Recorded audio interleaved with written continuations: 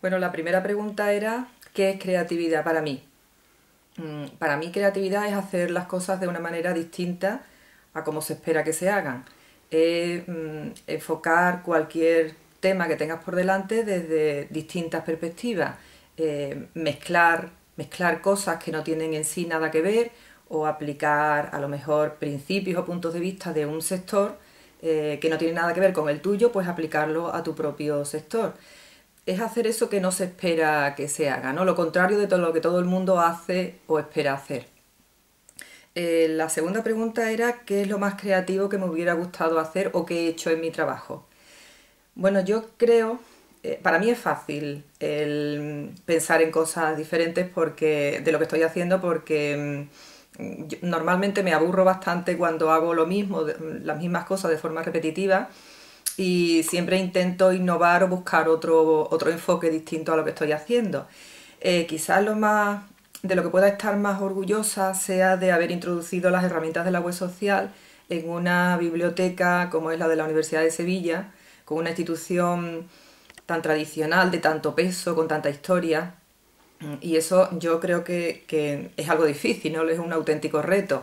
Eh, no es para nada fácil el plantear un tema, plantear la introducción de unas herramientas que, eh, de las que no se sabe, no se está muy seguro eh, qué va a pasar con ellas, que no se sabe cuáles son los resultados, dónde se corren riesgos y en las que se cometen errores. ¿no? Todo esto en una institución eh, del peso de la Universidad de Sevilla que, que, bueno, no da ningún paso en falso, que, que quiere no correr ningún tipo de riesgo, pues realmente es difícil.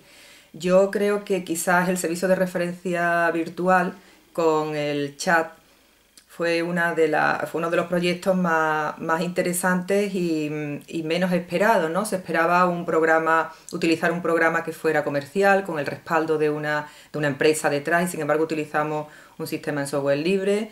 Eh, se abrió a todos los bibliotecarios, que contestaban a preguntas de cualquier tipo de, usuario dentro y fuera de la comunidad eh, de la Universidad de Sevilla. Yo creo que en ese sentido fue bastante rompedor eh, de lo que se esperaba para la institución. Eh, mm, me hubiera gustado llevar adelante otros proyectos que, mm, bueno, precisamente por ese tinte de riesgo que tienen no, no tuvieron buena acogida y no pude llevar adelante, pero mm, bueno, creo que, mm, todo lo que es la, introducción de las herramientas de la web social en, la biblioteca de la Universidad de Sevilla fue un proyecto interesante. Eh, ¿qué, crees que hace falta para introducir alguna innovación dentro de la organización?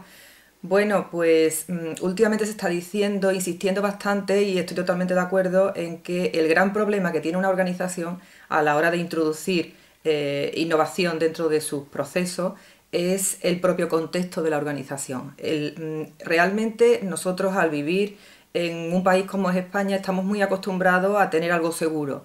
Queremos un trabajo, queremos ser funcionarios, queremos tener un piso en propiedad y no alquilarlo. No nos han educado ni estamos acostumbrados a asumir riesgos y a ser creativos y a llevar iniciativas adelante. ¿no? Por lo tanto, dentro de una organización, por un lado es muy difícil la innovación por el contexto de seguridad que requiere la propia organización y por otro lado porque mm, los propios directivos de las organizaciones no siempre consideran a, estas eh, entidades, instituciones, como algo eh, propio, la institución en sí, sino que muchos de ellos buscan el propio mérito personal y, la gloria personal. Y por lo tanto eh, no favorecen el que haya iniciativas creadoras, creativas, que que, puedan poner en riesgo algo de lo que se ha conseguido hasta ese momento en la organización. O sea, no se asume el menor riesgo.